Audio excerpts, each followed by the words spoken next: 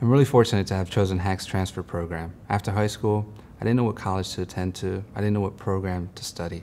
My brother, who was a math teacher at the time and also completed his freshman year at Hack, advised me to go in and talk to the advisors about their transfer program.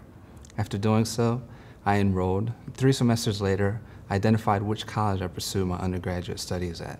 I went in and spoke to my advisor.